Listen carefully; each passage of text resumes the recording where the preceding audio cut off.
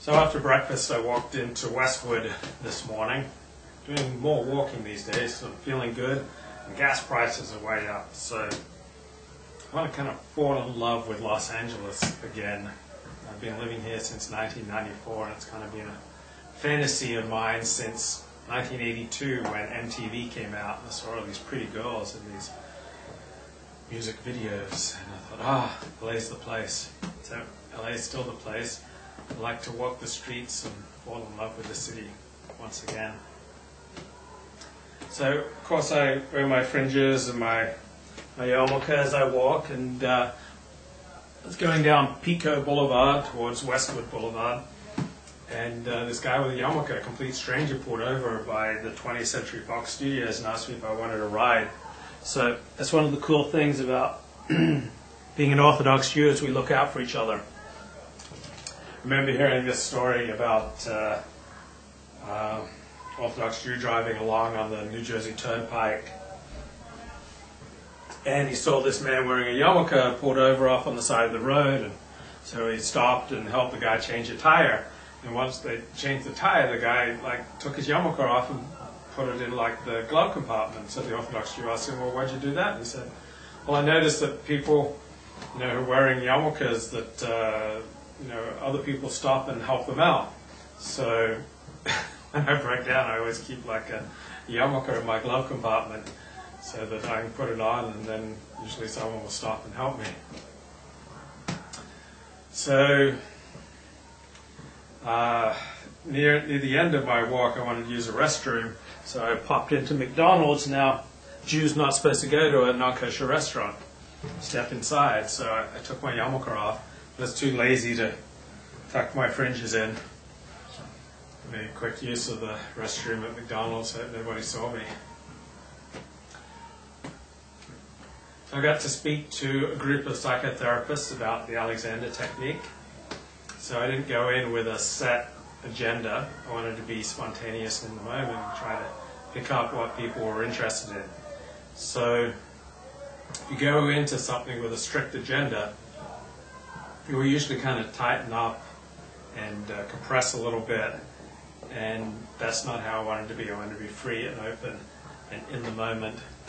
And I wanted to talk to them a little bit about sitting because no matter how you sit, it's not good for you, and sitting is basically as bad for you as smoking, says a new study that came out in the last few months. So psychotherapists sit a lot. Now there are better ways and worse ways to sit, there's no good chair and no good way to sit. It's really going to take a toll on you, and it's going to usually cause you back trouble. So I wanted to point that out. There are things that you can do to ease the strain that it's going to place on your back. But uh, no matter how you sit, it's going to cause significantly more strain for your back than if you're standing up or lying down. So I talked about how every emotion requires a certain alignment of the body. When you're up like this, it's very hard to feel anger, depression, sadness, contempt, any of those emotions. When you're up, you're at your full length and you're taking your full space in the world, you're going to tend to feel tranquil. So I remember sitting in uh, the waiting room before going in to give my talk, and I was like, hmm, this is my favorite long sleeved uh, t shirt for the last three years. I've been wearing it a lot. When I graduated from the Alexander Training Institute, they gave me some patches because I had this big hole on this elbow. So sitting there in the waiting room going, hmm, maybe I could have made a better sartorial choice. Hmm. Hmm, hmm, hmm. So I love talking about the Alexander technique. It's my work, it's my passion. And uh, they seem to immediately get what I was talking about. So if you really want to feel anger, depression, sadness, you have to kind of pull down in.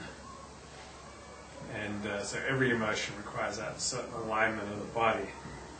Now, it's nothing wrong with feeling anger, depression, sadness at times, but you usually don't want to get stuck in those states. So most of us are going to be better off if we're in a state of tranquility. So when you're in awareness, such as right now, I'm seeing both the right wall and the left wall simultaneously. So I can't see both the right wall and the left wall and not be in the present moment. So when you're in the present moment, you're less likely to be anxious or depressed or usually or angry. Instead, you're more likely to be tranquil as long as you're in the present moment. So I can look ahead to the future, think, oh, how am I going to pay my credit cards, for instance, and how am I going, am I going to launch my Alexander Technique business so I get more students, or and when am I going to get married and have kids? That's all taking me out of the present moment. But if I listen to all the sounds around me, see both sides of uh, my room, so the right wall, the left wall, and everything in between, the soft eyes, then I'm in the present moment, I'm in a state of awareness. And I am taking up my full space in the world. If I was to start like thinking and worrying about the future or getting depressed about the past, that would require me kind of tighten and compress my neck and my whole torso. Hmm.